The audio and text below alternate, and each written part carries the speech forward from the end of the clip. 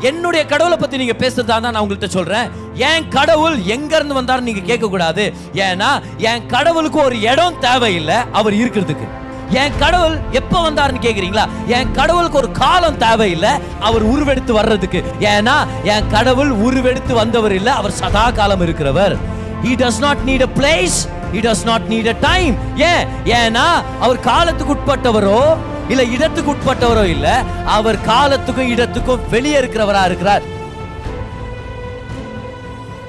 இன்னைக்கு ஒரு எக்ஸைட்டிங்கான ஒரு டீச்சிங்க நம்ம எல்லாருமே பார்க்க போறோம். வாங்க எல்லாருமே. எபிரேயர் பதினோராம் அதிகாரம். விசுவாசம் ஒன்ன உடனே அந்த அதிகாரத்தை ஒரு முக்கியமான ஒரு பகுதியாக நம்ம கருதுறோம். ஹீப்ரூஸ் சாப்டர் லெவன் அதில் விசுவாசத்தை பற்றி நிறைய டெஃபினிஷன்ஸ் நிறைய அர்த்தங்களை நம்ம பார்க்க முடியும். ஆனால் ஆறாம் வசனத்துக்கு தான் வர்றோம் இன்னைக்கு. Hebrews chapter eleven and verse number six படிக்கிறேன் கவனிங்க Hebrews eleven verse number six விசுவாசம் இல்லாமல் தேவனுக்கு பிரியமாக இருப்பது கூடாத காரியம். பயபக்தி இருந்து விசுவாசம் இல்லைன்னா ஆண்டவர் பிரியப்படுத்த முடியாது.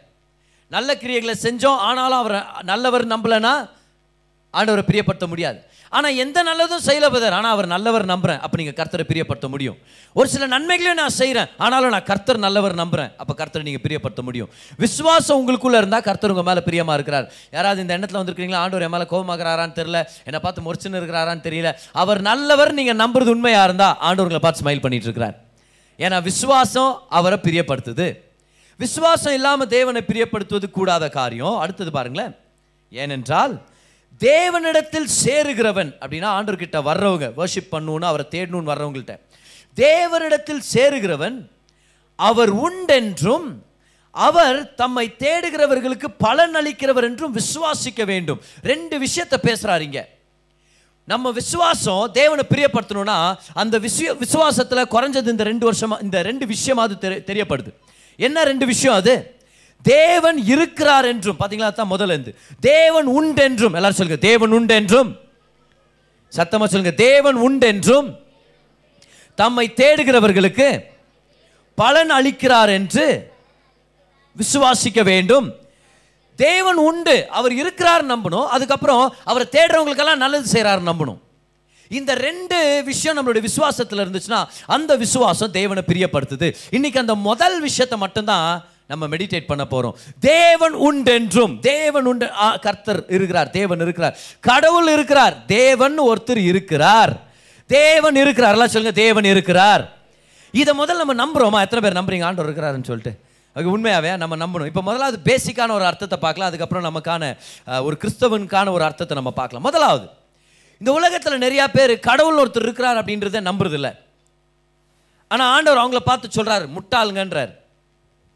சங்கீதம் பதினாலாம் அதிகாரம் அதுடைய முதல் வசனத்தில் நாஸ்திகர்களை பார்த்து நாஸ்திகத்தை பார்த்து கர்த்தர் சொல்கிறாரு தேவன் இல்லை என்று மதிக்கெட்டவன் தன் இருதயத்தில் சொல்லிக் கொள்கிறான். அப்படின்னா அறிவில்லாதவன் தான் தான் உள்ளத்தில் கடவுள் இல்லை அப்படின்னு சொல்லுவானா ஆனால் உலகம் வேற மாதிரி சொல்லுற எவ்வளோ நீ சயின்ஸ் படிக்கிறியோ அவ்வளோ நீ தெரிஞ்சுக்குவ கடவுள் யாரும் இல்லை அப்படின்வாங்க எவ்வளோ நீ ஞானத்தில் வளர்றியோ அவ்வளோ நீ தெரிஞ்சுக்குவ கடவுள் இல்லை அப்படின்னு. ஆண்டு சொல்றார் இல்லை இல்லை அது ஞானம் இல்லை அது முட்டாள்தனம். அது கேனத்தனம். அது மதிக்கெட்ட விஷயம் அது அறிவில்லாத விஷயம் அப்படின்னு. அப்போ ஆண்டவர் வந்து இந்த நாஸ்திகத்தை முட்டாள்தனோன்றாரு ஃபூலிஷ் அப்படின்னு சொல்கிறார் ஃபூல்ஸ் அப்படின்றார். யாருக்கு? தேவன் இல்லைன்னு சொல்கிறவங்கள ஃபூல்ஸ்னு சொல்கிறார் இன்டெலிஜென்ட்னு சொல்கிறது ஓ யோ வெரி இன்டெலிஜென்ட்னு சொல்கிறது இல்லை. நீ ஒரு முட்டாள் அப்படின்றாரு. கிறிஸ்தவனும் நாஸ்திகனும் பேசின்னு இருக்கிறாங்க. நாஸ்திகன்னா கடவுளே இல்லை அப்படின்னு நினச்சி வாழ்ந்துட்டு இருக்கிற ஜனங்க. கிறிஸ்தவன் நாஸ்திகனும் பேசிட்டு இருக்கிறாங்க. கிறிஸ்தவர் சொல்கிறாரு எனக்கு இந்த மாதிரி பண்டிகைலாம் இருக்குது. அதனால் பண்டிகைக்காக பிளான் பண்ணுங்கிறப்ப அவர் சொன்னாராம் உங்களுக்கு பரவாயில்ல. உங்களுக்கு நிறையா பண்டிகை இருக்குது. Easter good Friday Christmas new இயர்லாம் நீங்கள் செலிப்ரேட் பண்ணுறீங்க எங்களுக்கு எந்த பண்டிகையும் இல்லை. அப்போ கிறிஸ்தவன் சொன்னானா ஏன் இல்லை? ஏப்ரல் ஒன்றாம் தேதி உங்களுக்காக தானே வச்சிருக்கிறாங்க? முட்டாள்கள் தினம் அப்படின்ட்டு. ஏன்னா கடவுள் இல்லைன்றவங்க யார்? முட்டாள்னு சொல்கிறார் ஆண்டவர். அவங்க வந்து ஒரு அறிவில்லாத ஒரு தன்மையில் விழுந்துட்டாங்க அப்படின்னு. தேவன் இருக்கிறார். இந்த தேவன் இருக்கிறார் என்ற வெளிப்பாடை தேவன் ரெண்டு வகையில் தர்றார். முதலாவது என்ன வகைன்னு சொன்னால் பொதுவான வெளிப்பாடு. சொல்லுங்க பார்க்கலாம் என்ன வெளிப்பாடு அது? பொதுவான வெளிப்பாடு அது என்ன பிரதர் அது? அது எல்லாருக்கும் கொடுக்கப்பட்ட வெளிப்பாடு. ஜென்ரல் ரெவலேஷன் எழுதிங்க. ஜென்ரல் ரெவலேஷன் கடவுள்னு ஒருத்தர் இருக்கிறாருன்னு இந்த உலகத்தில் இருக்கிற எல்லாருக்கும் தெரிகிற மாதிரி கர்த்தர் ஒரு சில விஷயங்களை செஞ்சுருக்கிறார். அது என்னென்ன? படிக்கிறேன் பாருங்களேன். சங்கீதம் பத்தொம்போது முதலாம் வசனம். பத்தொம்போது முதலாம் வசனம். வானங்கள் தேவனுடைய மகிமையை வெளிப்படுத்துகிறது. ஆகாய விரிவு அவருடைய கரங்களின் கிரியையை அறிவிக்கிறது. கவனிச்சிங்களா? ஆகாயத்தை பார்த்தா தெரிஞ்சுக்கலாம். கடவுள் ஒருத்தர் இருக்கிறார் அப்படின்னு சொல்லி. இந்த சூரியனும் சந்திரனும் நட்சத்திரங்களும் இந்த கிரகங்களும் இவ்வளோ விதமான இந்த ஸ்பேஸ் ஆப்ஜெக்ட்ஸ் இந்த விஷயங்கள்லாம் இருக்குது. யார் உண்டாக்குனா யார் செஞ்சா இதை இதை கொஞ்சம் யோசிச்சு பார்த்தாலே எல்லாருக்கும் தெரிஞ்ச கடவுள் ஒருத்தர் இருக்கிறார். இதெல்லாம் தானாக வர வாய்ப்பே இல்லை. வாய்ப்பே இல்லை. அப்புறம் எவ்வளோ முக்கியமான விஷயம் பாரு அது. நீங்கள் கஷ்டப்பட்டு சமையல் பண்ணுறீங்க அது ஆயிரத்தெட்டு விஷயங்களை என்னென்னவோ கேர்ஃபுல்லாக எடுத்து யூடியூப்பை பார்த்து முதல்ல அது அங்கே தான் ஆரம்பிக்குது கரெக்டாக இல்லையா? நான் சொல்கிறேனே இப்போ இந்த இந்த இந்த நூற்றாண்டில் திருமணமாகிற எல்லாருமே எல்லா ஆண்களும் ஒய்ஃப்க்கு ஒரு ஃபோன் வாங்கி கொடுக்குறாங்க. கவனிச்சிங்களா அதை? கவனிச்சு பார்த்துக்கிங்களா என்ன கிஃப்ட் வாங்கி தராங்க ஃபோன் வாங்கி தரான் ஆண்ட்ராய்ட் ஃபோனாக வாங்கி தராங்க ஏன்? உனக்கு சமையல் பண்ண தெரியாது நீங்கள் தெரியும். யூடியூப்பை பாரு. ஓகே ஏன்னா யூடியூப் நீ பார்த்தனா மை டியூப் நிரம்பும். அதனால் நீ பாரு அப்படின்ட்டு நீங்கள் கஷ்டப்பட்டு ஒரு சில ரெசிபிங்கெலாம் பார்த்து நீங்கள் செலக்ட் பண்ணி ரொம்ப ஆர்வமாக அந்த பொருட்களெல்லாம் கலெக்ட் பண்ணி அது எந்தெந்த கடையில் கிடைக்குதோ அதெல்லாம் பார்த்து வாங்கி வச்சு நீங்கள் சமையல் பண்ணுறீங்க நீங்கள் சமையல் பண்ணி எடுத்துகிட்டு வந்து வைக்கிறீங்க உங்கள் ஹஸ்பண்ட் நன்றி செலுத்தாமல் அப்படியே நன்றி கெட்டத்தனமாக அப்படியே சாப்பிட்டு முடிச்சு பேன்றார் என்ன பண்ணுறது ஏதாவது குறை இருந்துச்சுன்னா பட்டுன்னு பேசுகிறாங்க ஹஸ்பண்ட்ஸ் கரெக்டாக இல்லையா? இப்போ பாரு நானும் அந்த சைடில் ஹஸ்பண்ட்ன்ற கேங்கில் நானும் இருக்கிறதுனால அதனால் பரிதாபத்தின் நிலையிலே தான் நான் சொல்கிறேன் நான். ஏதாவது மிஸ்டேக் இந்த பட்டுன்னு சொல்லிடுவாங்க. உப்பு கம்மியாகுது. எப்போ பார்த்தாலும் நீ உப்பு கம்மி போடுற அப்படின்ட்டு சில டைம் வந்துடும் காரம் ஜாஸ்தியாக இருக்குது. இந்த குழம்பு வைக்காதன்னு எத்தனை டைம் சொல்லியிருக்கிறேன் நான். சரியா? உப்புமா பண்ணாத. ஆனால் அந்த உப்புமாவை என்ன பண்ணுறது டிசைன் கிண்ணத்தில் ரொப்பி டிசைனில் வச்சு தந்துருத்துருவா நம்மள்ட்ட இந்த டிசைன் பாருங்கள் எவ்வளோ நல்லா ப்ரெசன்டேஷன் பார்த்தீங்களா? ப்ரெசன்டேஷனை பார்க்க முடியும். ப்ரெசன்டேஷனை சாப்பிட முடியுமா நம்ம? இப்போ ஆனால் என்ன பண்ணுறாங்க சில நேரத்தில் நல்ல இதாக குறை இருந்துச்சுன்னா பட்டுன்னு சொல்லிடுறாங்க. இல்லை அது சொல்லும் போது என்ன பண்ணுறாங்க எங்கள் அம்மா பண்ணால் எப்படி இருக்கும் தெரியும் அப்படின்னு வேறு பேசி விட்டுறாங்க. என்ன ஆயிடுச்சு அந்த அம்மா? மத்தியானம் சமைக்கிறதில்ல நைட் சமைக்கிறதில்ல உங்கள் அம்மா வீட்டில் சாப்பிட்டுக்கா அப்படின்னு அந்த அம்மா. ஆனால் நல்லா இருக்கும்போது சில டைம் புகழ்றது மறந்துடும் கணவர்கள். ஏன்னா அந்த ருசி பார்க்குறதுல ரொம்ப பிஸியாக அதுதான். நன்றி கெட்டத்தனெல்லாம் இல்லை அப்படின்னு நினச்சிடாதீங்க நீங்கள் ஆனால் இப்படி நடக்குதுன்னு வச்சுங்க ஒரு நாள் ஆ? அருமையான ஒரு சமையல். நீங்கள் ந நல்லா சாப்பிட்றாரு உங்கள் கணவர். சாப்பிட்டு நீங்கள் சொல்கிறீங்க எப்படின்னு சமையல்? அதுக்காக அதுக்கு அவர் அது அதுக்கு உன்ட்ட நான் என்னத்த சொல்லணும் அப்படின்றாரு. நீ சொல்லுங்களே நான் கஷ்டப்பட்டு நான் செஞ்சேன். யார் சொல்கிறார் இல்லை இல்லை அப்படியெல்லாம் இல்லை.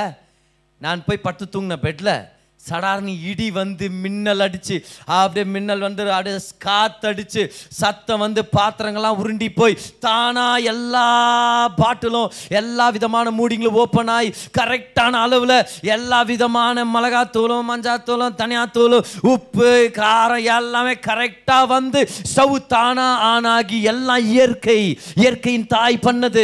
எல்லாம் தானா வந்து தானா ஒரு கரண்டி வந்து கிண்டி தானா ரெடி ஆனது நீ வச்சன்றியா? அப்படின்னா என்ன பண்ணுவீங்க நீங்கள் சுட்டு நேற்று மூஞ்சில் ஊற்றி அடுத்த தடவை தனி அடிக்காத அப்படின்னு சொல்லுவீங்களா இல்லை? நம்புவோமா அப்படி? அது அது நியாயமா அது? நம்ம ஒரு சமையல் பண்ணோம்னா அது நம்ம தான் பண்ணோம். அது வேற அது தானா நடக்கல அப்படின்றது ஒத்துக்கிறோமே. ஒரு சமையல் ஒரு ரசத்தையாவது ஒத்துக்கிறோமா அப்படி நம்ம? சரி விடு சாம்பார் விடு நான் தான் பண்ண ஆனால் ரசம் தானா தான் வச்சு சொல்கிறோமா நம்ம? அதுக்கு கூட எவ்வளோ பூண்டை நான் நசுக்கி போட்டுன்னு தெரியுமா அதில்? எவ்வளோ அந்த மிளகு வாங்குறதுக்கு எத்தனை தூரம் கடைக்கு போனேன் நான் அப்படின்றோம் நம்ம சின்ன ஒரு விஷயம் செய்யணும்னாலே எவ்வளோ விஷயங்களை அதை நம்ம ஜாக்கிரதையாக இருக்கணும் ஒருத்தர் செய்யணுமா இருக்குது. இவ்வளோ பெரிய உலகம் நல்லா கவனிங்க. பூமி சூரியனுக்கு கொஞ்சம் பக்கத்தில் போயிடுச்சுன்னா சுட்டரிக்கப்பட்டுரும். ஒன்றும் இல்லை. கொஞ்சம் பூமி தூரம் ஆயிடுச்சுன்னா கம்ப்ளீட்டாக ஃப்ரீஸ் ஆயிரும்.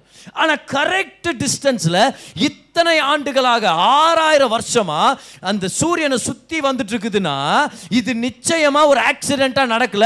ஒரு குழம்பை செய்கிறதுக்கே ஒருத்தர் தேவைனா இந்த வானாதி வானங்களை சிருஷ்டித்து ஒரு ஆர்டரில் இருக்கிற ஒரு பூமியும் அதோடைய சுற்றுதல் இது எல்லாத்தையும் ஏற்படுத்துறதுக்கு ஒரு தேவன் தேவை இல்லையா? ஆனால் இது ஆக்சிடென்ட்ன்றாங்க பார் அதில் தான் ஆண்டு சொல்கிறார் முட்டாள் என்றார். முட்டாள் என்றார். இல்லை நீங்கள் சயின்ஸ் ப்ராஜெக்ட் பண்ணுறீங்க இந்த பிளானட்ஸ் இதெல்லாம் சயின்ஸ் ப்ராஜெக்ட் பண்ணுறீங்க நீங்கள் சயின்ஸ் ப்ராஜெக்ட் பண்ணும்போது உங்களுக்கு தான் ஃபஸ்ட் ப்ரைஸ்னு ஜட்ஜு டிசைட் பண்ணுறாங்க ஆனால் ப்ரைஸ் கொடுக்குற நேரத்தில் என்ன சொல்லிடுறாங்க? ப்ரைஸ் கொடுக்கல உங்களுக்கு. என்னன்னு கேட்டால் இல்லை நேற்று நைட் தூங்கின்னு இருக்கும்போது அப்படியே இடி மின்னல் காத்தடிச்சு அப்படியே தானாலாம் ஒன்று ஒன்று சேர்ந்து அப்படியே பூமி இப்போ சுத்த ஆரம்பிக்குதா. ஒத்துக்குவீங்களா நீங்கள் என்ன சொல்லுவீங்க நான் கஷ்டப்பட்டேன் சார். சார்ட்டியாகவும் போய் வாங்கிட்டு வந்தது? நான் பல நாளாக உட்காந்து அதை யூடியூப்பில் பார்த்து அப்புறம் அதை செஞ்சு நான் எடுத்துன்னு வந்தால் தானாக உருவாச்சுன்னு சொல்கிறீங்களா அப்போ ஒரு சார்ட் ஒர்க்கே ஒரு மனுஷன் உட்காந்து பண்ணுனா இவ்வளோ அருமையான செயலை தேவன் பண்ணுமா இருக்குது? அதுதான் தேவன் சொல்கிறாரு நீ வானத்தை பார்த்தாலே போதும் உனக்கு தெரியும் ஒரு சிருஷ்டிகர்த்தர் இருக்கிறார் அவர் செய்கிறாரு அவர் தான் ஏற்படுத்தி இருக்கிறார். பக்கத்தில் உங்களை பார்த்து சொல்லுங்க. கடவுள் இருக்கிறார் உங்களுக்கு தெரியுமான்னு கேளுங்க. எவ்வளோ முக்கியமான விஷயம் பார். த கிரியேஷன் ரோமர் ஒன்று ரோமர் ஒன்று ரோமன்ஸ் சாப்டர் ஒன் ரோமர் முதலாம் அதிகாரம் அதோடைய இருபதுலேருந்து இருபத்தி ரெண்டு அவசரத்து வரைக்கும் படிக்கிறேன். நல்லா கவனிங்க கூர்ந்து கவனிங்க. எப்படி என்றால் காணப்படாதவைகளாகிய அவருடைய நித்திய வல்லமை தேவத்துவம் என்பவைகள். அப்போ தேவனை நம்மளால் பார்க்க முடியல. பிதாகுமாரன் பரிசுத்தாவியானவர் பார்க்க முடியல. இந்த தேவத்துவம்னு பார்க்குறோம்ல அதான் ட்ரினிட்டி காட் ஹெட் திருத்துவம் அது. திருத்துவத்தை பார்க்க முடியல. ஆண்டவருடைய வல்லமையை நிறைய தடவை பார்க்க முடியல. ஆனா அது எல்லாத்தையும் எப்படி பார்க்குறோமா? நல்லா கவனிங்களேன். என்பவைகள் உண்டாக்கப்பட்டிருக்கிறவைகளினாலே சிருஷ்டிப்பு. உண்டாக்கப்பட்டிருக்கிறவைகளினாலே உலகம் உண்டான உண்டானது முதற்கொண்டு தெளிவாய் காணப்படும். எல்லாம் சொல்லுங்க தெளிவாய் காணப்படும். தேவன் எப்படிப்பட்டவர்? பிதா குமாரன் பரிசுத்தாவியானவருடைய அந்த வெளிப்பாடு கூட சிருஷ்டிப்பில் இருக்குதான். என்ன ஆச்சரியம் பாருங்களேன். வெறும் கடவுள் இருக்கிறான்ற வெளிப்பாடு மட்டும் இல்லையா? பிதா குமாரன் பரிசுத்தாவியானவர் அப்படின்னு ஒரு தேவன் மூணு நபர்கள் திருத்துவம் அப்படின்ற விஷயத்தை கூட இந்த உலகத்தை பார்த்தே கத்துக்கலாமா? சிருஷ்டிப்பை பார்த்து கத்துக்கலாமா? என்ன ஆச்சரியம் பாருங்க. தேவன் ஏற்கனவே சுவிசேஷத்தை வானத்திலையும் இந்த சிருஷ்டி இந்த சிருஷ்டிப்பிலேயே ஒழிச்சு வச்சிருக்கிறார். ஆதலால் அவர்கள் போக்கு சொல்ல இடமில்லை. யாரு? ஏன்னா ஒரு சில பேர் இந்த கேள்வி கேட்குறோம் தெரியுமா? பிரதர் நாங்கள் காஸ்பில் கேட்டோம். நியாய தீர்ப்பு நாளில் இயேசு கிறிஸ்துவ சொந்தரச்சரா ஏற்றுக்கிட்டதுனால நாங்கள் தப்பிக்கிறோம். ஆனா இயேசுவை பற்றி கேள்விப்படாத ஜனங்க எப்படி பிரதர் நியாய தீர்ப்பில் ஆன்சர் சொல்ல முடியும்? யாராவது இந்த கே- இந்த இந்த டவுட் வந்திருக்குதா இல்லையா நமக்கு?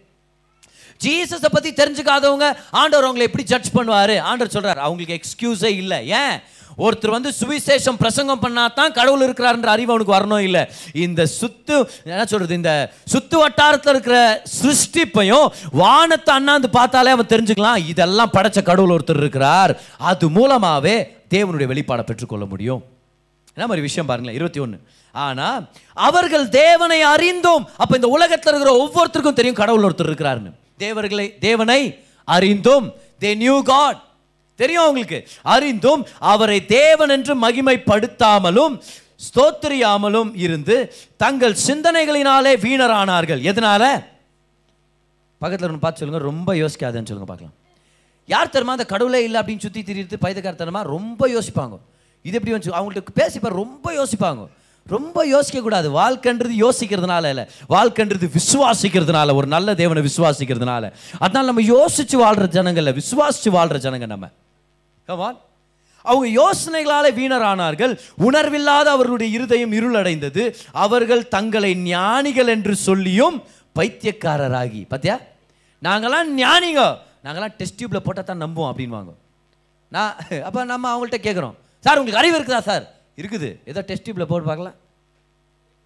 அவங்க சொல்கிறாங்களே டெஸ்ட் டியூப்ல ஒன்று போட முடியுமா? நீ காமிங்க அந்த வஸ்துவை காமிங்க நான் நம்புறேன். நீங்கள் காமிங்க நம்புறேன் அப்படின்றாங்க. ஆனால் அவங்கள்ட்ட சொல்கிறேன் சார் உங்களுக்கு அறிவு இருக்குதா? இருக்குதுன்றாங்க. சரி உங்கள் அறிவை கொஞ்சம் காமிங்களே எடுத்து கையில். இல்லை there are few things you have to take by faith நம்மளால் பார்க்க முடியறதில்ல ஆனால் அதோடைய எஃபெக்ட்ஸ் ரியல் அதனால் நம்ம நம்பிட்டு இருக்கிறோம் அதே மாதிரி அதே மாதிரி தான் தேவன். அப்போ பொதுவான வெளிப்பாடு கடவுள் இருக்கிறாரா இல்லையான்னு முதலாவது ஒரு பொதுவான வெளிப்பாடு இருக்குது ஜென்ரல் ரெவலேஷன் ஆனால் ரெண்டாவதாக இன்னொன்று அது என்ன தெரியுமா? அது விசேஷித்த வெளிப்பாடு. அதுதான் நமக்கு கிடைச்சிருக்கு எழுதிங்க ஸ்பெஷல் ரெவலேஷன் ஸ்பெஷல் ரெவலேஷன் இது என்ன தெரியுமா? சுவிசேஷன் சுவிசேஷத்து நிமித்தம் தேவன் எப்படிப்பட்டவர் தேவன் எவ்வளோ நல்லவராக இருக்கிறார் அப்படின்ற இந்த விஷயங்களை நம்ம தெரிஞ்சுக்கிறது. இது எதனால? இது ஸ்பெஷல் ரெவலேஷன் சொல்லுங்க பார்க்கலாம். இது என்னது இது? ஸ்பெஷல் ரெவலேஷன் பக்கத்தில் உங்களை பார்த்து சொல்லுங்க. தேவன் யாருன்னு எனக்கு தெரியும்னு சொல்லுங்க பார்க்கலாம். சுவிசேஷத்து நிமித்தம் நான் பெற்றுக்கொண்டேன். சுவிசேஷத்து நிமித்தம் நம்மளுக்கு ஸ்பெஷல் வெளிப்பாடை கருத்து கொடுத்துருக்கார் special revelation okay special revelation அப்போது எல்லாருக்குமே வானங்களை பார்த்த உடனே சிருஷ்டிப்பை பார்த்த உடனே ஒரு ஒரு தெளிவு ஆண்டவர் ஏற்படுத்திட்டார். கடவுள் ஒருத்தர் இருக்கிறார் அப்படின்னு.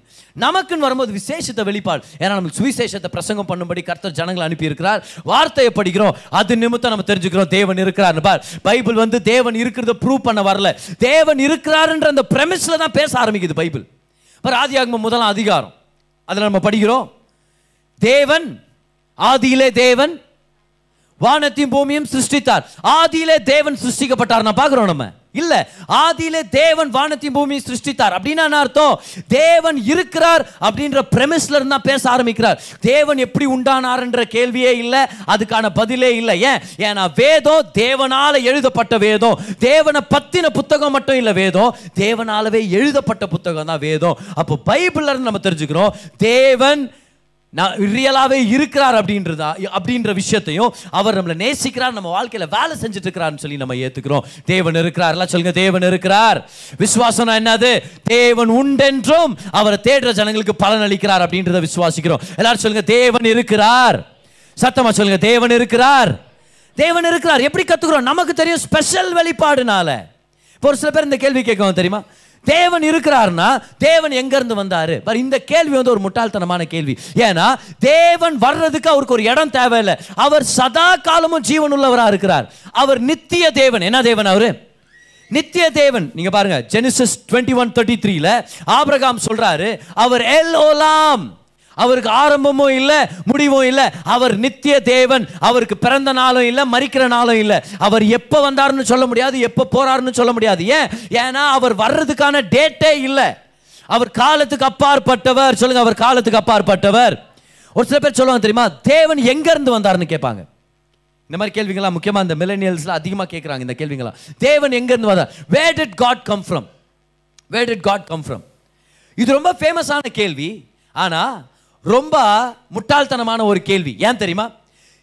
தேவன் எங்கேருந்து வந்தார்? கடவுள் எங்கேருந்து வந்தார்னு கேட்குறாங்க நான் என்ன சொல்கிறேன்னா நீங்கள் தப்பான கடவுளை பற்றி பேசிகிட்டு இருக்கிறீங்க அப்படின்றேன். ஏன்? ஏன்னா என்னுடைய கடவுளை பற்றி நீங்கள் பேசுறதா தான் நான் உங்கள்கிட்ட சொல்கிறேன் என் கடவுள் எங்கேருந்து வந்தார்னு வந்தாருன்னு கேட்கக்கூடாது. ஏன்னா என் கடவுளுக்கு ஒரு இடம் தேவையில்லை அவர் இருக்கிறதுக்கு. என் கடவுள் எப்போ வந்தாருன்னு கேட்குறீங்களா என் கடவுளுக்கு ஒரு காலம் தேவையில்லை. அவர் உருவெடுத்து வர்றதுக்கு. ஏன்னா என் கடவுள் உருவெடுத்து வந்தவர் இல்லை அவர் சதா காலம் இருக்கிறவர். He does not need a place he does not need a time ஏன்? ஏன்னா அவர் அந்த இடம் இருக்கு அவர் அந்த ஸ்பேஸ்ல இருந்து அவர் வெளியே இருக்கிறவரா இருக்கிறார். He is outside space and outside time அவர் காலத்துக்கு உட்பட்டவரோ இல்ல இடத்துக்கு உட்பட்டவரோ இல்ல அவர் காலத்துக்கும் இடத்துக்கும் வெளியே இருக்கிறவரா இருக்கிறார். அப்ப ஜனங்க இந்த கேள்வி கேட்கும்போது உங்க தேவன் எங்க இருந்து வந்தார்? நம்ம சொல்றோம் நீ என் தேவனை பத்தி பேசுறதா இருந்தா நீ தப்பா பேசிட்டு இருக்கிற. அது சரியான கேள்வியே இல்லை. ஏன்? என் தேவன் எங்க அப்படின்ற இடம் தேவையே படல அவருக்கு. எப்போன்ற இடம் தேவையே படல. பாருங்க இந்த- இந்த மூணு விஷயம் இருக்கு தெரியுமா? சயின்ஸ்ல இந்த மூணு விஷயத்தை பத்தி பேசுவாங்க. ஸ்பேஸ் டைம் மேட்டர் என்னன்னா அது? டைம் டைம்ல இருந்து ஆரம்பிக்கலாம். டைம் ஸ்பேஸ் மேட்டர் காலம் இடம் அதுக்கப்புறம் வஸ்து. இந்த மூணு விஷயங்கள். நல்லா கவனிங்க இது மூணுமே ஒரு கண்டினியூவம்னு சொல்லுவாங்க. கண்டினியூவம்னா இது மூணுமே ஒரே நேரத்தில் வரணும். இல்லைன்னா அது எக்ஸிஸ்ட் ஆக முடியாது. நல்லா கவனிங்க நல்லா கவனிங்க. இந்த கிளாஸை ஒருத்தர் உருவாக்குனாங்கன்னா இதுக்கு ரெண்டு டீட்டெயில் தேவைப்படும். ரெண்டு டீட்டெயில் அந்த பாக்ஸ் மேலே எழுதியிருக்கும். யார் இந்த கிளாஸை செஞ்சது? அப்படின்னா எங்கே செஞ்சாங்க? எப்போ செஞ்சாங்க? If there is matter there will always be time and place பிளேஸை தான் ஸ்பேஸ்ன்னு சொல்கிறேன் நான். So if there is matter என்ன இருக்கும்? டைம் இருக்கும். ஸ்பேஸ் இருக்கும். இது மூணுமே ஒன்றா தான் வரணும். இது ஒன்று இல்லைனா கூட அது வஸ்துவே இல்லை. அது வஸ்து நம்ம சொல்லவே முடியாது. அப்போ மேட்டர் இருந்துச்சுன்னா டைமும் இருக்கணும் ஸ்பேஸும் இருக்கணும். அதனால தான் பைபிளை நம்ம பார்க்குறோம். In the beginning time God create the heavens space and the earth matter மூணு விஷயமும் ஒரே நேரத்தில் வருது. முதல் வசனத்தில் ஆண்டவர் அதை நெயில் பண்ணிட்டார். அப்போ உங்க தேவன் எங்க இருந்து வந்தார்னு என்ன அர்த்தம்? அப்போ என் தேவன் எங்க இருந்து வந்தார்? எப்போ வந்தார்? இது எல்லாத்தையும் நான் உனக்கு சொல்லணுமா இருக்கும். ஆனா என் தேவன் காலத்துக்கு அப்பாற்பட்டவர் ஏன்? ஏன்னா காலத்தை உண்டாக்குனதே. அவர்தான். ஸ்பேஸை உண்டாக்குனதே. அவர்தான் மேட்டரை உண்டாக்குனதே. அவர்தான் he is not limited by time space and matter. He is outside time space and matter. அப்போ அவர் எப்போ வந்தார் நான் பதில் சொல்ல தேவையில்லை. ஏன்னா அவர் காலத்துக்கு அப்பாற்பட்டவராக இருக்கிறார். அவர் எங்க இருந்து வந்தார் நான் சொல்லதுக்கு அவசிய அவசியமே இல்லை. ஏன்? ஏன்னா அவருக்கு ஒரு இடம் தேவையில்லை அவர் எக்ஸிஸ்ட் ஆகுறதுக்கு. அவருக்கு ஒரு மேட்டர் தேவையில்லை அவர் எதையோ ப்ரூவ் பண்றதுக்கு. He is beyond time space and matter. Okay so என்ன சொல்ல வந்துட்டு இருக்கிறேன்னா தேவன் இருக்கிறார் அப்படின்ற ஒரு முதல் அங்கீகாரத்தை முதல் விஷயத்தை நம்ம எப்பவுமே நம்ம நம்ப ஆரம்பிக்கும் நம்ம நம்ம நம்ப ஆரம்பிக்கும் போது அடுத்த கட்டத்தில் நம்ம போக முடியும். ஆனால் இப்போ இப்போதைக்கு நம்ம எல்லாரும் நம்புறோம். தேவன் இருக்கிறார் நம்ம நம்புறோம். சரியா? தேவன் உண்டு என்று நம்ம நம்புகிறோம் இது எப்படி நம்ம வாழ்க்கையில் ப்ராக்டிக்கலாக கொண்டு வருதுன்னு நான் உங்கள்கிட்ட சொல்ல போகிறேன் ஆனால் இப்போதைக்கு இது நல்லா ஞாபகம் வச்சுங்க. தேவன் இருக்கிறார் கடவுள் இருக்கிறார். யாராவது உங்களுக்கு ஏதாவது எக்ஸ்ப்ளனேஷன் கேட்டாங்கன்னா பாருங்க இப்போ டீச்சிங்கில் கொஞ்சம் விஷயங்களாம் நான் ஷேர் பண்ண தெரியுமா? இதுங்களெல்லாம் எடுத்து நீங்கள் ஷேர் பண்ணலாம். இதுங்களாம் ப்ராக்டிக்கல் ட்ரூத்ஸ் இதை வச்சு நீங்கள் அவங்கள்ட்ட ஒரு சில விஷயங்களை நீங்கள் டீச் பண்ண முடியும். காட் இஸ் தேர் தேவன் இருக்கிறார். தேவன் இருக்கிறார். எல்லாம் சொல்லுங்கள் தேவன் உண்டு. தேவன் உண்டு. தேவன் உண்டு. தேவன் இருக்கிறார். ஒரு கிளாஸில் ஒரு டீச்சர் டீச் பண்ணிருக்கும் போது ஏதோ ஒரு ஒரு ஆர்குமெண்ட் வந்துச்சு. ஆர்குமெண்ட் மத்தியில் சொன்னாராம். கடவுள் ஒருத்தர் இல்லை. கடவுள் ஒருத்தர் இருந்தால் நான் சேலஞ்ச் பண்ணுறேன் இப்போவே என் முன்னாடி வந்து நிற்கட்டும் கடவுள் அப்படின்னு. உங்கள் கடவுளை வர சொல்லு அப்படின்னு யார் யார்?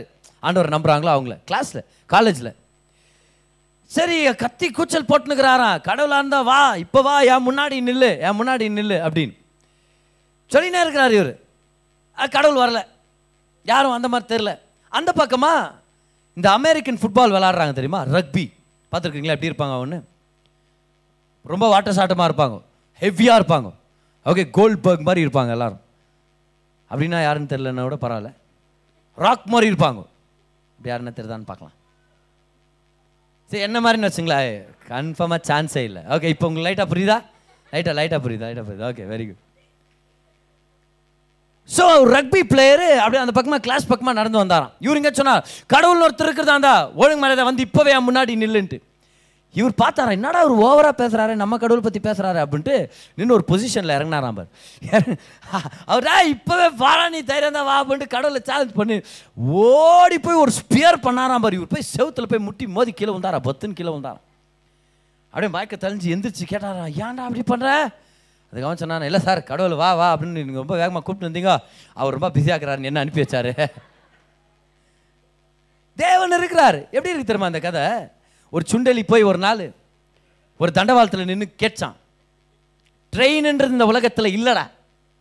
தண்டவாளத்தில் நின்று ட்ரெயின் இந்த உலகத்தில் நான் பார்த்ததில்ல நான் நம்புறதில்ல. ஒருவேளை ட்ரெயின் இருக்கிறது உண்மையாக இருந்தா அனுப்புங்கடா ட்ரெயின் இப்போவே அப்படின்ட்டு உட்காந்து அந்த இடத்துல. ஆனால் கவர்மெண்ட்டு ஒரு சுண்டலிக்கு தான் யாருன்னு காமிக்கிறதுக்காக ஒரு ட்ரெயின் அனுப்பி வைக்கவே மாட்டார். இப்போ தெரியுதா ஏன் ஒரு சில பேர் சேலஞ்ச் பண்ணி கூட ஆண்டவர் இறங்கி வருது இல்லை அப்படின்னு? ஏன்? ஆண்டவர் தெளிவான ப்ரூஃபை வச்சிருக்கிறார். அவங்க வந்து அவங்க முன்னாடி வந்து நிற்கணும்னு பெருசாக ஒன்றுமே இல்லை. ஒரு கன்வென்ஷன் அப்போல்லாம் கன்வென்ஷன்கள் நடக்கும். கிரவுண்டில் வந்து கூட்டங்கள் நடக்கும். குரூசைடுன்னு வாங்க ரிவைவல் மீட்டிங் அப்படின்னு வாங்க. அது மாதிரி ஒரு மீட்டிங் நடந்துன்னு இருக்குது. நல்ல பிரசங்க ஒருத்தர் பிரசங்கம் பண்ணுகிறார் ஒருத்தர் கொஞ்சம் நான் கொஞ்சம் சாராயத்தை குடிச்சிட்டு அந்த லைட்டாக போதையில் முன்னாடி வந்து அப்படியே ஆடினே இருந்துக்கிறார். அப்படியே ஆடினே வந்து உன் கடவுள் எங்கே? இப்போவே காமி எனக்கு காமி எனக்கு. இதெல்லாம் ரியலாக நடந்த விஷயம். உன் கடவுளை காமி எனக்கு. அப்போ தான் நான் நம்புவேன் அப்படின்னு. ஒரு நின்று அப்படியே அசைவாடின்னு இருக்கிற நேரத்தில் ஒரு அஞ்சு நிமிஷம் கத்தின்கிறார் ஆனால் இவர் பிரசங்கம் பண்ணே போயின்னுக்கிறார். அப்படியே ஒரு தேன் பூச்சி ஒரு தேனி வந்துச்சான் பாரு அந்த பக்கமாக அப்படியே. இந்த தேனி அப்படியே வந்து சொன்னாரா கடவுள் எங்கன்னு காமிங்கடா எனக்கு. அப்படியே வந்து நாக்க கொட்டிச்சான்.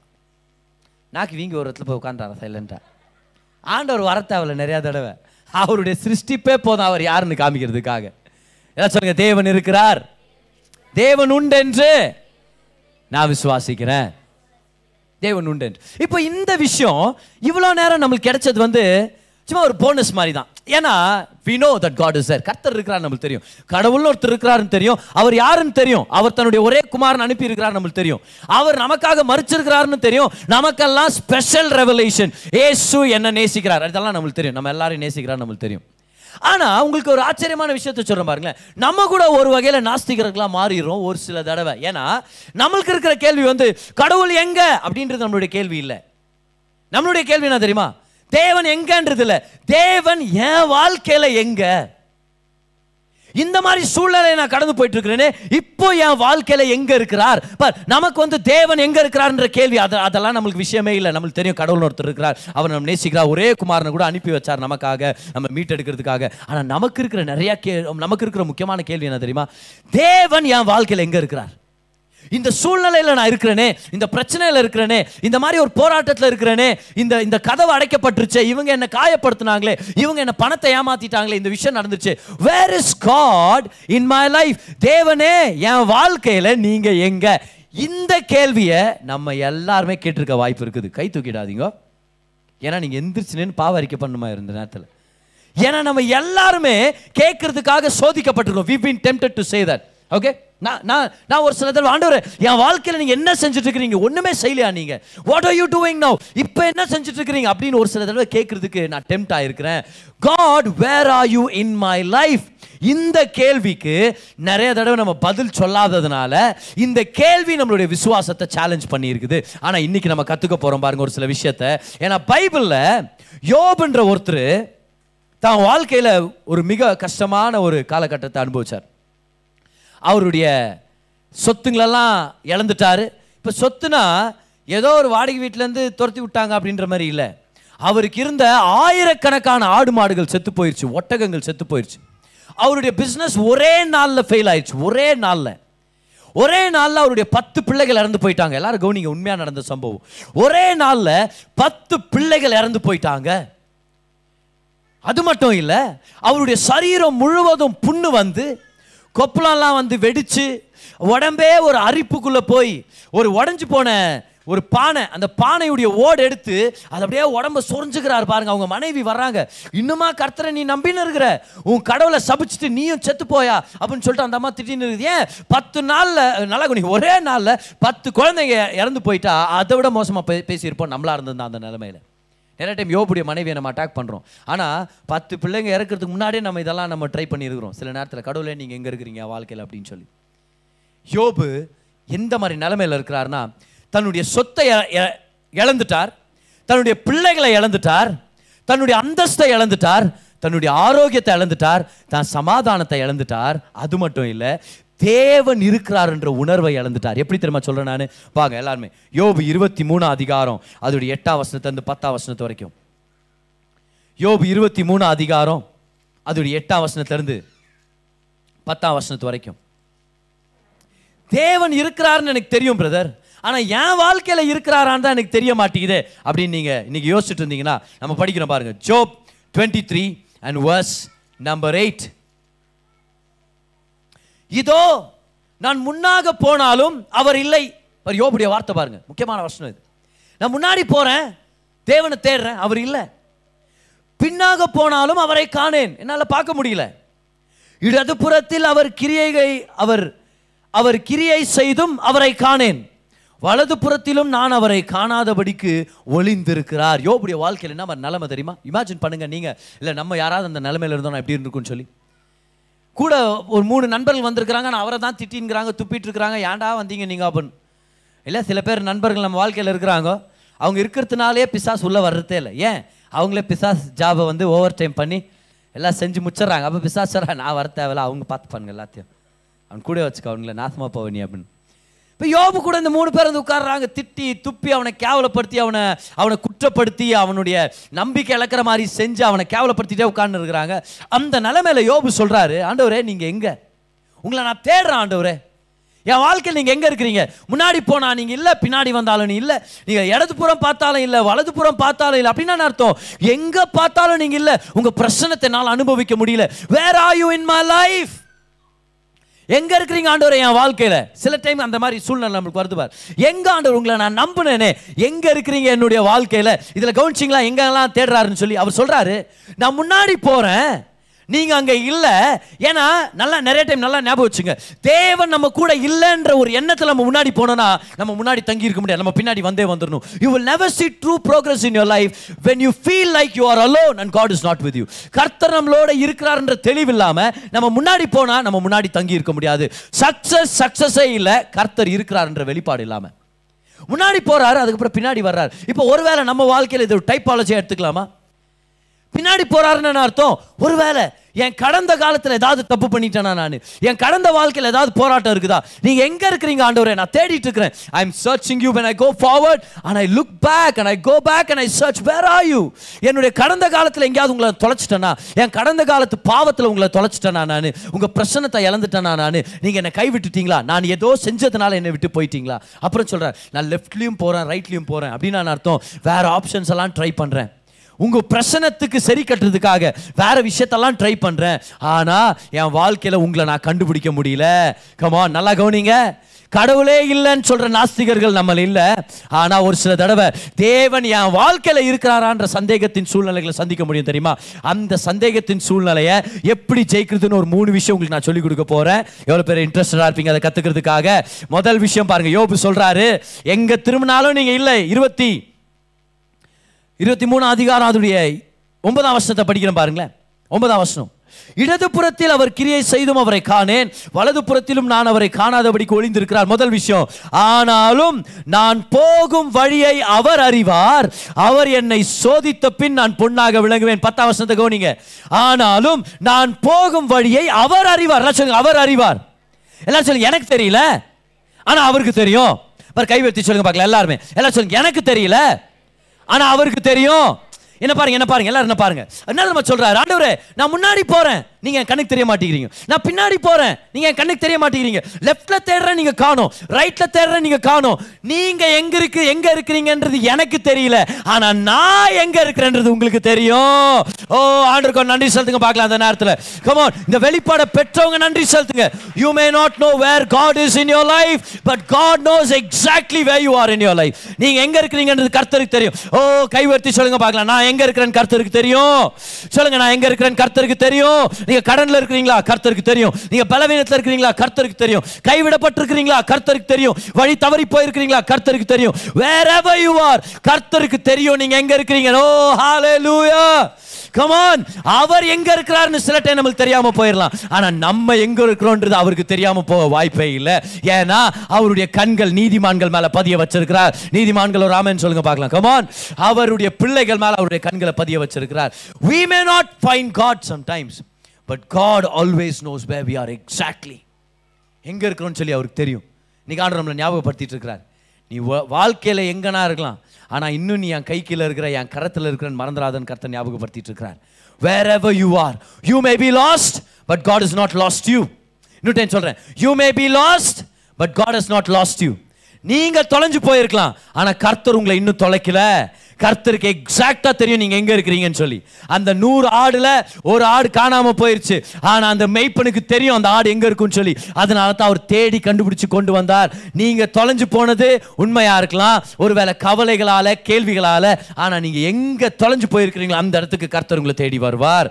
அவர் உங்களை சந்திப்பார். He knows where you are எதுங்க I may when I don't when I don't know where God is God knows where I am God knows where I ஆம் எந்த நிலையில இருந்தாலும் கர்த்தருக்கு தெரியும் நீங்கள் எங்கே இருக்கிறீங்க. God knows exactly where you are அதான் முதல் விஷயத்தை எழுதிங்க பார்க்கலாம். முதல் விஷயமே அதுதான். God knows where you are God knows where you are ஏன் ஒரு டுவெண்ட்டி செகண்ட்ஸ் நம்ம ப்ரேயர் பண்ணக்கூடாது? இருக்கிற இடத்துல அப்படியே கைகளை உயர்த்துங்க பார்க்கலாம். பர் இதுதான் உங்கள் ஆப்பர்ச்சுனிட்டி எந்திரிச்சு நிற்கணும்னா நீங்கள் எந்திரிச்சு நிற்கலாம் பர் இந்த நேரம் எல்லாரும் கை உயர்த்தி சொல்லுங்கள் ஆண்டவரே நீங்கள் நான் எங்கே இருக்கிறேன்னு உங்களுக்கு தெரியும் ஆண்டவரே. என் வாழ்க்கையில் நான் எங்கே இருக்கிறேன்றது உங்களுக்கு தெரியும். நீங்கள் என் வாழ்க்கையில் எங்கே இருக்கிறீங்கன்னு தெரியாத பட்சத்தில் நான் எங்கே இருக்கிறேன்னு உங்களுக்கு தெரியும்ல. அதுக்காக நன்றின்னு சொல்லி கைகளை ஒருத்தி நன்றி செலுத்துங்க பார்க்கலாம் எல்லாருமே. தேங்க்யூ லாட் தேங்க்யூ சீசஸ் நான் எங்கே இருக்கிறேன்றது சில டைம் எனக்கே தெரியல. ஆனால் உங்களுக்கு தெரியும் ஆண்டவர் நான் எங்கே இருக்கிறேன்னு சொல்லி. மரண இருளின் பள்ளத்தாக்கில் நடந்தாலும் நான் பொல்லாப்புக்கு பயப்பட மாட்டேன். தேவரீர் என் கூட இருக்கிறீங்க. உங்கள் கோலும் தடியும் என்ன தேற்றும். நீங்கள் எனக்கு ஒரு பாதுகாப்பாக இருக்கிறீங்க. எனக்கு தெரியல நீங்கள் எங்கன்னு. ஆனால் உங்களுக்கு தெரியும் நான் எங்க இருக்கிறேன்னு உங்க கண்கள் என் மேல பதிய வச்சிருக்கிறீங்க. உங்க வல்லமை எனக்காக அனுப்பிட்டு இருக்கிறீங்க நீங்க எனக்காக வேலை செஞ்சுட்டு இருக்கிறீங்க உங்க கிருப பெரியது. கரங்களை தட்டி ஒரு நன்றி செலுத்தலாமா எல்லாருமே அவருக்கு? ஹாலை லூயா கமான் அவர் எங்கன்னு நமக்கு தெரியாம இருக்கலாம். ஆனா நம்ம எங்கன்னு எப்பவுமே அவருக்கு தெரியும். ஆமேன் யாராவது ஒருத்தருக்கு ஒரு ஹைஃபை கொடுத்து சொல்லுங்க பார்க்கலாம். நீங்க இருக்கிறது அவருக்கு தெரியும்னு சொல்லுங்க பார்க்கலாம். உட்காந்துருங்க உட்காந்துருங்க நீங்க எங்க இருக்கிறீங்கன்னு அவருக்கு தெரியும். நீங்க எங்க இருக்கிறீங்கன்னு அவருக்கு தெரியும். அதுக்கப்புறம் யோபு சொல்றார் இருபத்தி மூணு பத்துல அவர் என்னை சோதித்த பின் நான் பொன்னாக விளங்குவேன். ஏன் சோதித்த பின்னு சொல்றாரு? ஏன் சோதித்த பின்? பார் கோல்டை தான் அவர் டெஸ்ட் பண்ணிட்டு இருக்கிறேன்னு சொல்லிட்டு இருக்கிறாரு. நான் பியோர் கோல்டா இல்லையா? நல்லா கவனிங்க.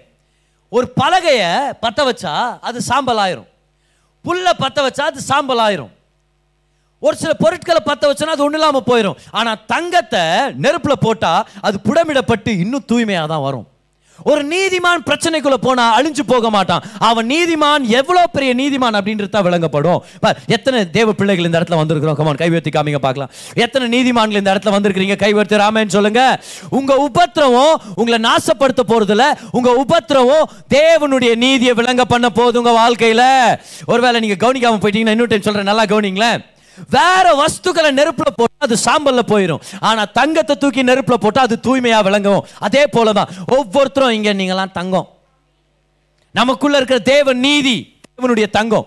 Because gold is a picture of righteousness நீதிமான்கள் ஒரு ஆமேன்னு சொல்லுங்க. நீங்க ஒரு உபத்திரவத்தின் சூழ்நிலைக்குள்ள கடந்து போனீங்கன்னா நீங்க தூய்மையா தான் வெளியே வருவீங்களே தவிர பிரைட்டா தான் வெளியே வருவீங்களே தவிர கரிஞ்சு இல்ல சாம்பலாகலாம் வெளியே வர மாட்டோம் ஷாத்ராக் மேஷாக் ஆபத்நேகோ மாதிரி. வெளியே வரும்போது நெருப்புட வாசனை கூட இல்லையாம்பார் அப்போ யாரோ ஒரு பைத்த கரெக்ட் போய் கிட்ட போய் மோந்து பார்த்துருக்குறானா இல்லையா அந்த இடத்துல? சில பேர் ரியலாக வந்து மோந்து பார்ப்பாங்க பாரு. எப்படி நீ வெளியே வந்த? எப்படி இவ்வளோ பிரச்சனை இருந்து வெளியே வந்த? எப்படி இந்த விஷயத்தை நீ டீல் பண்ண? எப்படி எப்படி இந்த கடன்லேருந்து வெளியே வந்த எப்படி இந்த வியாதியிலேருந்து வெளியே வந்த? அன்றைக்கி அவ்வளோ பெரிய சண்டை உங்கள் வீட்டில். எப்படி அதை சால்வ் பண்ணீங்க? எப்படி உங்கள் திருமணம் உடஞ்சு போகிற மாதிரி இருந்துச்சு? எப்படி இங்கே நல்லா இருக்கிறீங்க? உங்கள் பிள்ளைங்க ஸ்கூல் படிக்க வைக்கிறது உங்களுக்கு காசே இல்லையே? எப்படி உன் பிள்ளை டாக்டருக்கு படிச்சா? எப்படி உன் பையன் இன்ஜினியராக மாறினான்? சொல்லுங்க. They will they will always be people will try to come and smell the fire ஆனால் கர்த்தர் உங்களை பார்த்து சொல்வார் நீ எப்படிப்பட்ட நீதிமான் அப்படின்றது இந்த உபத்திரவத்தின் மத்தியில் நான் ப்ரூவ் பண்ணி காமிக்க போகிறேன் யோபு சொல்கிறாரு இந்த உபத்திரவத்தின் மத்தியில் கர்த்தர் என்னை சோதித்த பின் நான் பொண்ணாக விளங்குவேன். அப்படின்னா the silence of God is a testing time in our life எல்லாரும் எழுதிங்க பார்க்கலாம். எழுதிங்க த சைலன்ஸ் ஆஃப் காட் எழுதிங்க த சைலன்ஸ் ஆஃப் காட் ஒவ்வொரு சாம்பியனும் தேவனுடைய மௌனத்தை தாண்டி தான் சாதனையாளராக மாறினாங்க. Every champion has to endure the silence of God in their lives Abraham கிட்டத்தட்ட பதினாலு வருஷம். பதிமூணு இல்லைன்னா பதினாலு வருஷம். பதிமூணு வருஷம் நம்ம கால்குலேஷன் படி. தேர்ட்டீன் இயர்ஸ் தேவன் பேசவே இல்லை ஆபிரகாம் கிட்ட. ஆனால் ஆபிரகாம் அந்த நேரத்தில் அந்த காலகட்டத்தில் விசுவாசத்தில் வளர்ந்தார் நம்மளுக்கு ப்ரூஃப் இருக்குது. தன்னுடைய மாம்சத்தின் அந்த நம்பிக்கையை விட்டுட்டு விசுவாசத்தில் வளர ஆரம்பிக்கிறார். சைலண்ட் காட் வாஸ் சைலண்ட் ஒரு அதிகாரத்தில் ஒரு சாப்டர் முடியுது ஒரு ஒரு வேர்ஸ் முடியுது. அந்த இடத்துல ஆபிரகாமுக்கு எண்பத்தி ஆறு வயசு. இன்னொரு இடத்துல பார்த்தா தொண்ணூத்தி ஒன்பது வயசுல தான் கர்த்தர் பேசுறார். இமீடியட்டா அடுத்த வசனத்துல பதிமூணு வருஷம் ஆண்டவர் பேசவே இல்லை.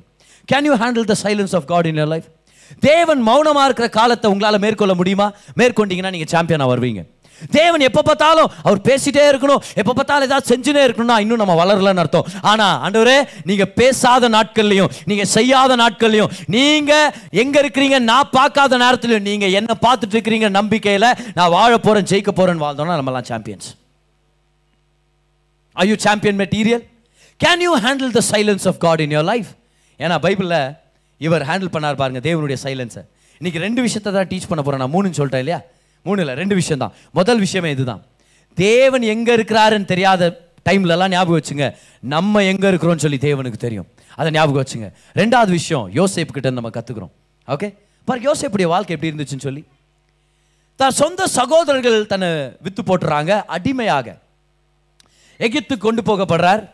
எகிப்தில் ஒரு அடிமையாக வீட்டில் வேலை செய்கிறாரு கிட்டத்தட்ட பத்து வருஷமாவது அந்த இடத்துல வேலை செஞ்சுருக்க வாய்ப்பு இருக்குது. ஆனால் அந்த இடத்துல ஒரு மேனேஜர் லெவலுக்கு வந்துடுறாரு. ஒரு நாள் எஜமானுடைய மனைவி ஒரு தவறான விருப்பத்தில் அவரை படுக்கைக்கு இழுக்க இவர் நான் வரப்போறதில்ல அப்படின்னு தன்னுடைய தன்னுடைய கோட்டை கூட விட்டுட்டு இவர் கிளம்பிட்டார். ஆனால் அப்படியே கேஸ் அவர் மேலே திரும்பிடுது இவன் தான் என்னை தப்பான எண்ணத்தில் என்னை தொட வந்தான். நான் கத்துனதுனால பார்த்தீங்களா பத் கோர்ட் கூட விட்டுட்டு போயிட்டான் பார். ஏன்னா நான் கத்துனல அதனால விட்டுட்டு போயிட்டான் அப்படின்னு சொல்லி அப்படியே அவன் மேலே அந்த ரேப் கேஸை போட்டாங்க. எப்படி இருக்கும் அந்த நிலைமை? அவனை தூக்கி ஜெயிலில் போட்டுறாங்க. நல்லா கவனிங்க. ஜெயிலில் போட்டுறாங்க. ஜெயிலில் ஒரு சில பேர் ஒரு சில சூழ்நிலைகள் நடக்குது. அங்கே ரெண்டு பேர் இருக்கிறாங்க. நிறைய பேர் இருக்கிறாங்க. அதில் ரெண்டு பேர் அந்த ஜெயிலில் வந்து சேர்க்கப்படுறாங்க. அவங்க யார்? ஒருத்தர் வந்து ராஜாவுக்கு பிரெட் சப்ளை பண்ணுறவர் இன்னொரு ராஜாவுக்கு திராட்சை ரசம் கொடுக்குறவர். வான பாத்திரக்காரனும் சுயம்பாகி. ஸோ இவங்க ரெண்டு பேருமே இவங்க ரெண்டு பேருக்கு ஒரு நாள் கனவு வந்துச்சு. ஆனால் கனவு அர்த்தம் சொல்ல யாரும் இல்லை. அடுத்த நாள் காலையில் சோகமாக உட்காந்துக்கிறாங்க இப்போ யோசேப் போய் கேட்குறாரு என்னத்துக்கு சோகமாக இருக்கிறீங்க? அப்படின்னு. அப்போ அவங்க சொல்ல ரெண்டு பேருக்கும் கனவு வந்துச்சு அர்த்தம் சொல்ல யாரும் இல்லை. அப்போ யோசிப்பு சொல்கிற வார்த்தையை நான் உங்களுக்காக நான் படித்து காமிக்க போகிறேன் ஆனால் வாங்க நம்ம இந்த ஸ்டோரியை பார்த்துனா அந்த வசனத்தை படிச்சிடலாமே. வாங்க ஜெனிசஸ் தேர்ட்டி நைன் ஆதி ஆகும் முப்பத்தி ஒம்பது ஜெனிசஸ் தேர்ட்டி நைன் அதுடைய இருபதாம் வசனமும் இருபத்தி ஓராம் வசனம். ஜெயிலில் இருக்கும்போது அவனை பற்றி கர்த்தர் சொன்ன விஷயத்தை நம்ம பார்க்குறோம். Genesis thirty nine verse number twenty and twenty one பாருங்களேன். யோசேப்பின் எஜமான் அவனை பிடித்து ராஜாவின் கட்டளையால் காவலில் வைக்கப்பட்டவர்கள் இருக்கும் சிறைச்சாலையிலே அவனை ஒப்புவித்தான். அவன் சிறைச்சாலையிலே அந்த சிறைச்சாலையிலே அவன் இருந்தான். கர்த்தரோ யோசேப்போடே இருந்து. எங்க இருந்தாரு? அந்த ஜெயிலில் யார் கூட? ஆனால் இந்த கேள்வி நமக்கு வருது கர்த்தர் யோசேப்போட இருந்தாருன்னா எப்படி இந்த நிலைமைக்கு அவன் போவான்? ஆனால் கர்த்தர் இந்த நிலைமையில் இருக்கிறார். பார் நல்லா கவனிங்க. சூழ்நிலை மோசமாக இருக்கிறதுனால கர்த்தர் இல்லைன்னு அர்த்தம் இல்லை. சூழ்நிலைகள் நம்ம எதிர்பார்த்த மாதிரி நடக்காததுனால கர்த்தர் வேலை செய்யல கர்த்தர் இல்லைன்னு அர்த்தம் இல்லை. இவன் பண்ணாத தப்புக்காக இவனை ஜெயிலில் போகிறான் ஆனால் கர்த்தரங்க இருக்கிறார். Can you handle the silence of God in your life என்ன ஆண்டவரே சைலண்டாக இருக்கிறீங்க? நீங்கள் ஏன் யோசேப்புக்காக பேசலைங்க? நீங்கள் ஏன் ஒரு தூதன் அனுப்பல? நீங்கள் யோசேப்புடைய கனவுக்கு அந்த யோசேப்புடைய கனவுக்கு ஒரு தூ ஒரு தூதன் அனுப்பி பேசுனீங்க இல்லையா? மரியாதை காப்பாற்றணும்னு யோசேப்பு கிட்ட பேசுனீங்களே? கேப்ரியல் தூரன் அனுப்பி. ஏன் இந்த போத்திபார் கிட்ட வந்து நீங்கள் பேசல? ஏன் நீங்கள் ஜோசஃபை டிஃபெண்ட் பண்ணல? தேவன் மௌனமா இருக்கிற மாதிரியே இருக்குது. அண்ணன்க வித்து போடுறாங்க. தேவன் மௌனமா இருக்கிறார். ஆனா வசனம் போட்டிருக்குது. தேவன் யோசேப்போட இருந்தார். அடிமத்தனத்துல விக்கிறாங்க. வசனம் போட்டிருக்குது. கர்த்தர் யோசேப்போட இருந்ததுனால அவன் காரிய சித்தி உள்ளவனா இருக்கிறான் அப்படின்னு. அவன் சக்சஸ்ஃபுல்லா இருக்கிறான்.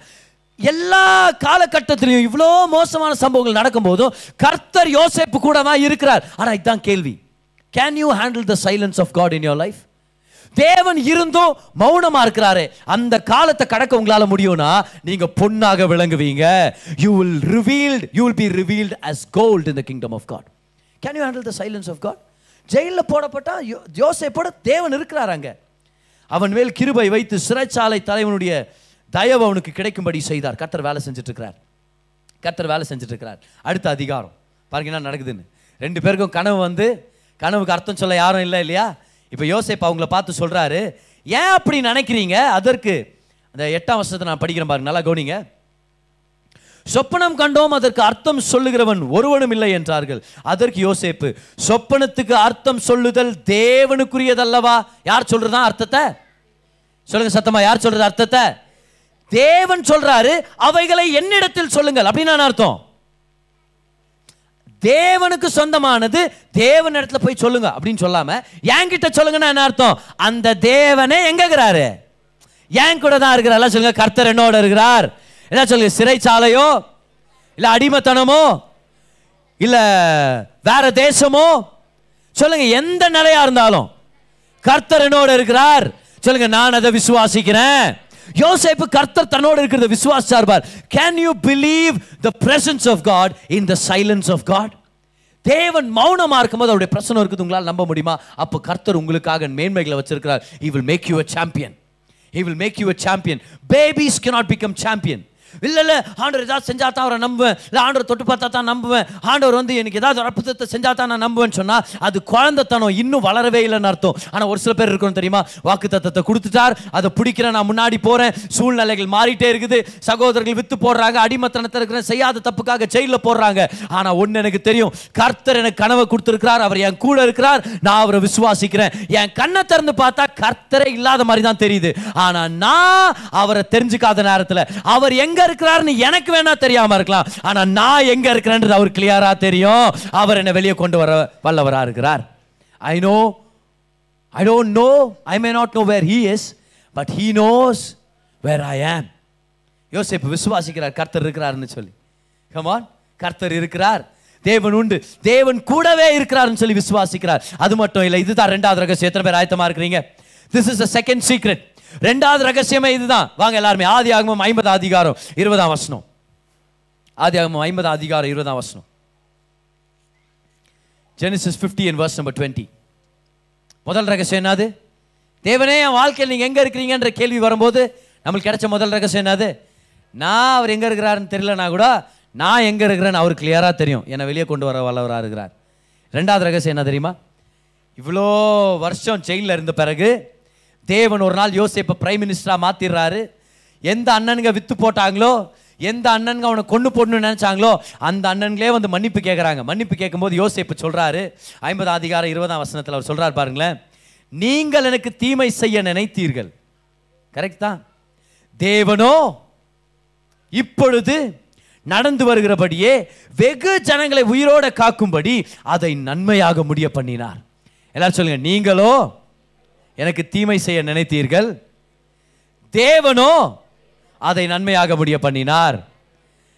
சொல்லுங்க கைவற்றி சொல்லுங்க பார்க்கலாம். தீமையான காலகட்டங்கள்ல தேவன் அதை நன்மையாக மாற்றிக்கொண்டே இருக்கிறார். இதுதான் ரெண்டாவது ரகசியத்தை நம்ம நம்ம நம்ம ரிசீவ் பண்ணிக்கணும் பார். When you go through a situation where you are saying god where are you in my life? Remember God is working behind the scenes கர்த்தர் காட்சிகளுக்கு பின்னாக வேலை செஞ்சுட்டு இருக்கிறார் சகல தீமையும் நன்மையாக மாத்திட்டு இருக்கிறாரு ஆனா கண்ணுக்கு தெரியாத உலகத்தை அவர் வேலை செய்யறதுனால அவர் வேலை செய்யலன்னு நினைச்சிடாதீங்க. மௌனமா இருக்கிறதுனால அவர் ஒண்ணு செய்யாம இருக்கிறான்னு சொல்லி நினைச்சிடாதீங்க.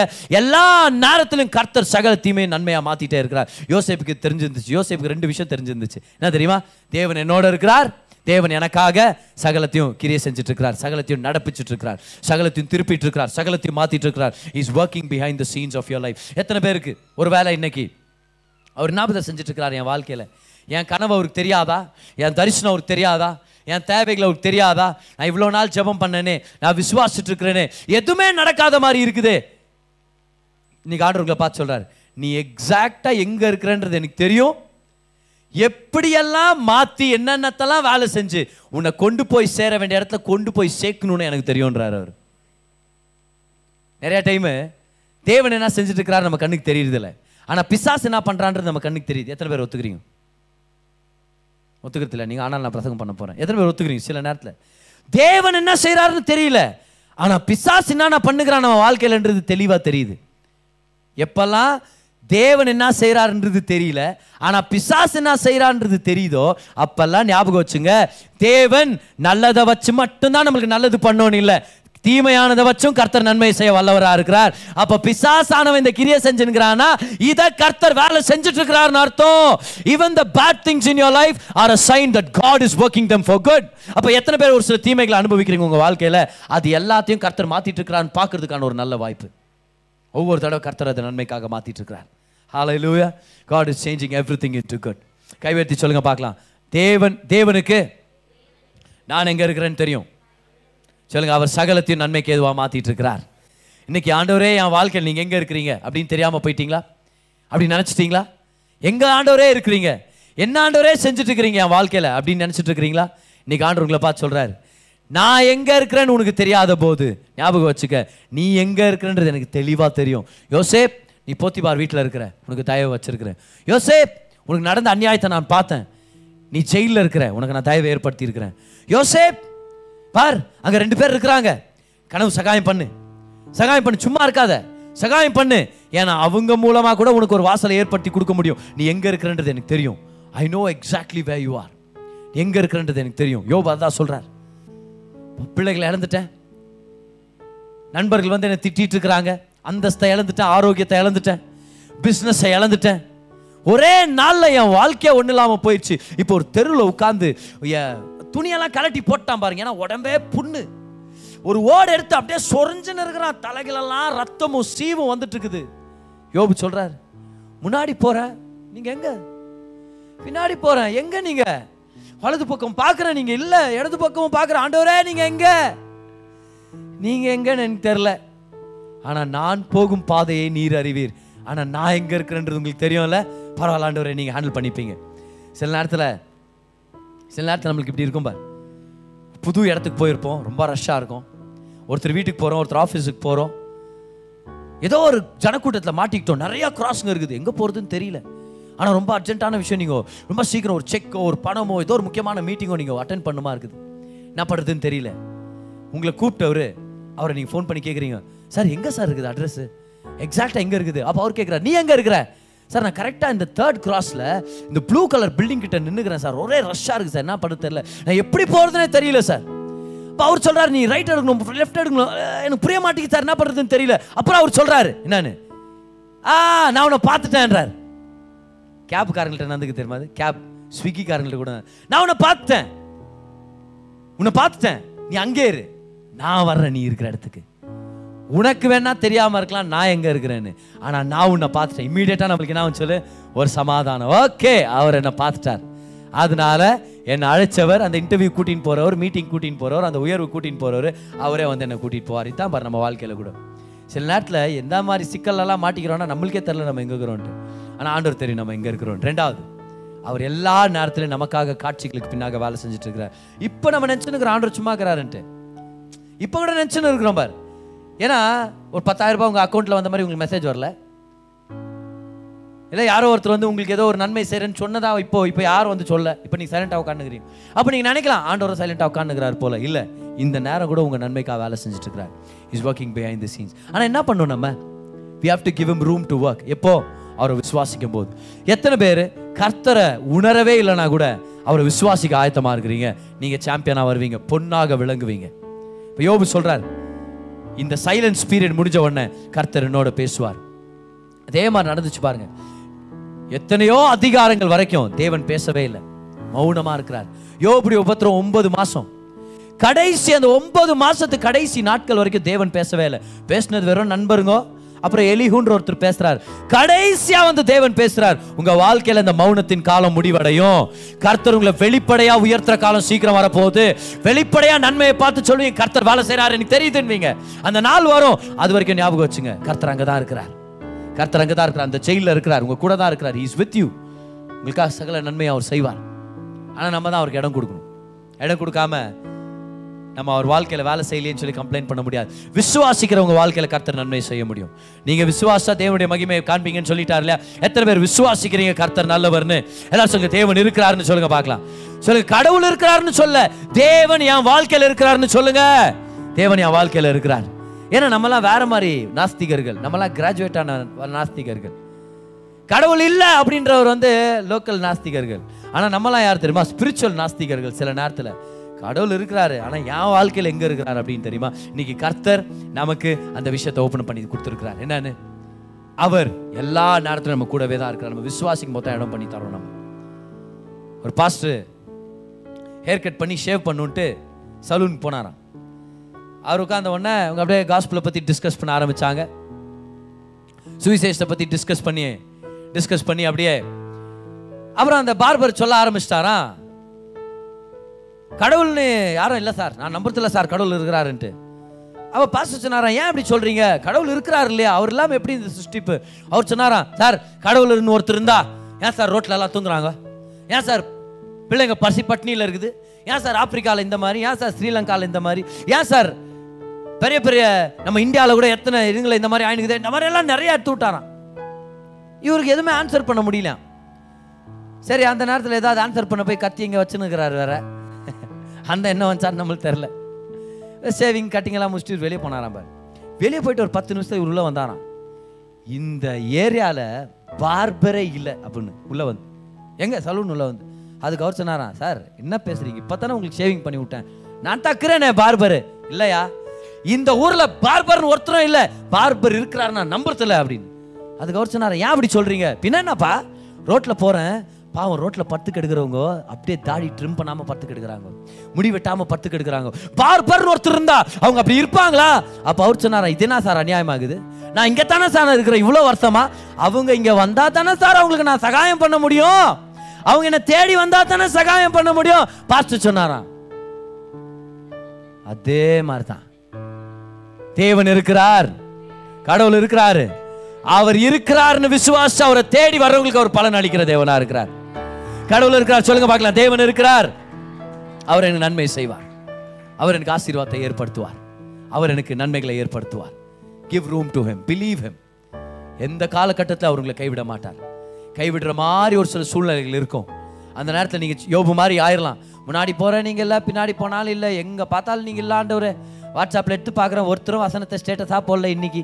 பிரதர் நம்பர் கால் பண்ணுறேன் ஸ்விட்ச் ஆஃப் ஸ்விட்ச் ஆஃப்னு வந்துன்னு இருக்குது. என்ன பண்ணுறதுன்னு தெரியல அவர்லாம் ஏன் தான் ஃபோன் வச்சுருக்கிறாரோ? ஆண்டவரே நீங்கள் எங்கே? ஆண்டவர் சொல்கிறாரு நான் எங்கன்னு உனக்கு தெரியல ஆனால் நீ எங்கன்னு எக்ஸாக்டாக எனக்கு தெரியும். நீ எங்கே போகணும்னு எக்ஸாக்டாக தெரியும். சகல தீமைகளும் நன்மையாக மாற்றி அங்கே கொண்டு போக நான் வல்லவராக இருக்கிறேன். நான் வல்லவராக இருக்கிறேன். வாங்க ஆண்டருக்கு இடம் கொடுக்கலாமா நம்ம வாழ்க்கையில்? கமான் ஆண்டருக்கு இடம் கொடுக்கலாம். வார்த்தைகளால் விசுவாசனால் இடம் கொடுக்கலாம். அவர் நம்ம வாழ்க்கையில் வேலை செய்ய ஆரம்பிப்பார். ஒரு நாஸ்திகர் ரொம்ப இன்ட்ரெஸ்டிங்கான ஸ்டோரி ஒரு நாஸ்திகர் அவங்க வீட்லேயே எழுதி செவரில் எழுதி வச்சுருந்தார். காட் இஸ் நோவேர் அப்படின்னு இங்கிலீஷில். G O D God I S is nowhere N O W H E R E கடவுள் எங்கேயும் இல்லை அப்படின்னு. அவங்க சின்ன பொண்ணு வந்து டியூஷன் அனுப்பியிருக்கிறார் போமா போய் படிச்சுட்டு வா அப்படின்னு. இந்த பொண்ணு படிக்க ஆரம்பிச்சிட்டா இப்போ.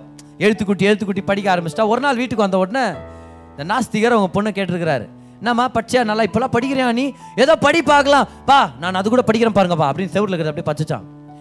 G O D God I S is N-O-W. Now H-E-R-E here. God is now here அப்படின்னு படிச்சுச்சான் பார். அது படித்த உடனே தேவனுடைய பிரசனம் தன்னுடைய உள்ளத்தில் கன்விக்ட் ஆக ஆரம்பிச்சிட்டான் அந்த மனுஷனுடைய உள்ளத்தில்.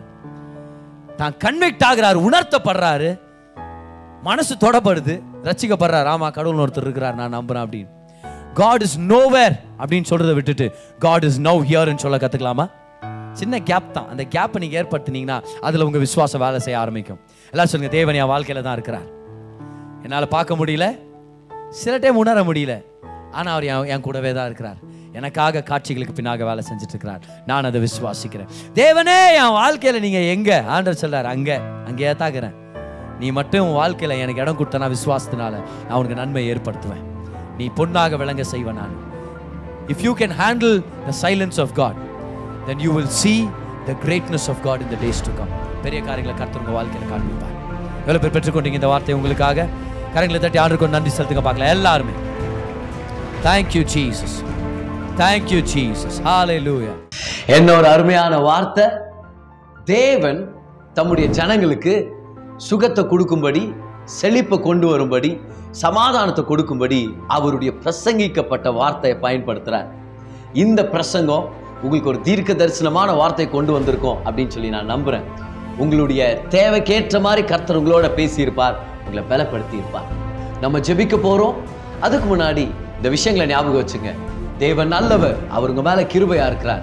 நீங்க நல்லா இருக்கணும்னு சொல்லி அவர் விருப்பப்படுறார்.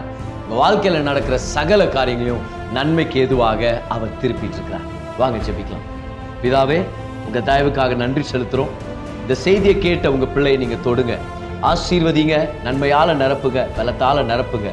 அவங்களுக்கு என்ன தேவை இருக்குதுன்னு உங்களுக்கு தெரியும் ஆண்டவரே. மகிமையின் ஐஸ்வர்யத்தின்படி அந்த தேவைகளை சந்திங்க. குடும்பங்களை ஆசீர்வதிங்க வழி நடத்துங்க தொழில் ஆசீர்வதிங்க. ஒரு நன்மையிலும் குறைபடாதபடிக்கு நிறைவான ஆசீர்வாதங்களால் நிரப்புங்க. இன்னும் பல நன்மையான காரியங்களை செய்வீங்கன்னு எதிர்பார்க்குறோம் பலப்படுத்துங்க. ஏசுவின் நாமத்தில் ஜெபிக்கிறோம் பிதாவே. ஆமேன். ஆமேன்.